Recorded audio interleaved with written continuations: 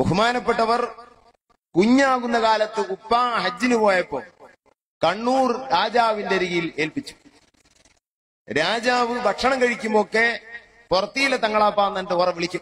കുട്ടിയാണ് ഭക്ഷണം കഴിക്കുമ്പോ ഒരു ദിവസം ബഹുമാനപ്പെട്ടവര് മത്സ്യമൊന്നും കിട്ടിയിട്ടില്ല.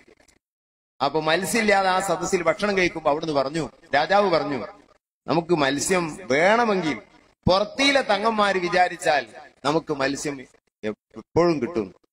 അപ്പൊ നൂറുദ്ദീൻ ഷേഖ് തങ്ങളെ മുഖത്ത് നോക്കിയിട്ട് പറഞ്ഞു അങ്ങനല്ലേ തങ്ങളെ ശരിയല്ലേ? നിങ്ങൾ ഉദ്ദേശിച്ചാൽ മത്സ്യം ഇല്ലാത്ത കാലത്ത് മത്സ്യം കിട്ടുന്ന ഇത് പറയലാ കണക്ക്. അപ്പോഴേക്കും നൂറുദ്ദീൻ ഷേഖ് കുട്ടിയാണ്. പത്ത് വയസ്സ് പതിനൊന്ന് വയസ്സേ ഉള്ളൂ. വായുമണ്ഡലത്തിലേക്ക് കൈ നീട്ടി നമ്മുടെ ഭാഷയിൽ പറഞ്ഞ തിരുത എന്ന് പറയുന്ന മത്സ്യം. അത് പൊരിച്ചതായൊരു മത്സ്യം ഇങ്ങനെ എടുത്തിട്ട് രാജാവിന്റെ മുന്നിൽ ആ സുപ്രയിൽ വെച്ചു.